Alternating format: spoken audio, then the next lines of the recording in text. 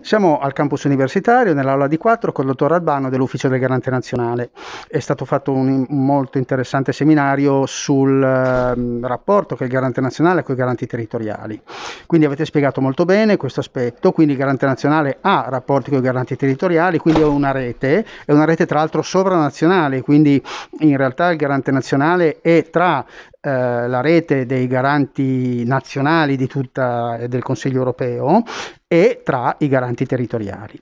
Um, tuttavia in Italia alcune regioni e molti comuni non hanno un garante territoriale nominato.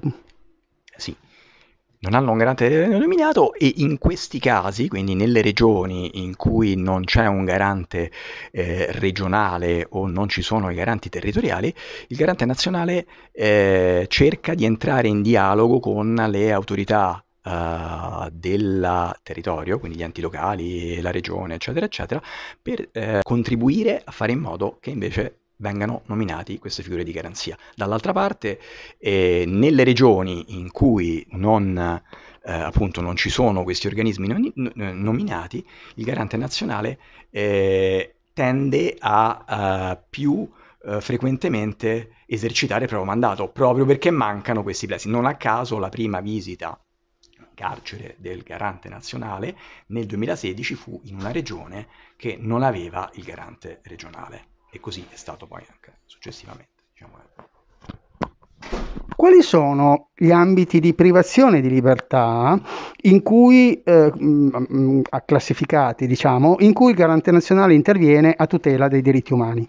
Allora, non solamente l'ambito che noi chiamiamo penale, che è quello classico del carcere, quindi l'ambito penale, il carcere per adulti e per minori, ma sono mh, quattro gli ambiti principali, quindi l'ambito che noi chiamiamo penale, l'ambito delle polizie, quindi le camere di sicurezza, il momento dell'arresto e del fermo, i luoghi, quindi delle, quella che gli inglesi chiamano la custodia di polizia, e poi l'ambito migranti, che quindi comprende il trattenimento nei centri per il rimpatrio, quindi un po' la, diciamo così, il trattenimento per motivi amministrativi di eh, irregolare ingresso e soggiorno, e, e, quindi anche poi tutto il filone de, de, del controllo dei diritti umani sui rimpatri forzati. E il quarto ambito è quello della salute, eh, cioè il, il, controllo sulle strutture sanitarie, sociosanitarie e assistenziali. In particolare penso al, ai servizi psichiatrici di diagnosi e cura dove vengono fatti i TSO e penso alle residenze sanitarie per anziani e per disabili, dove a certe condizioni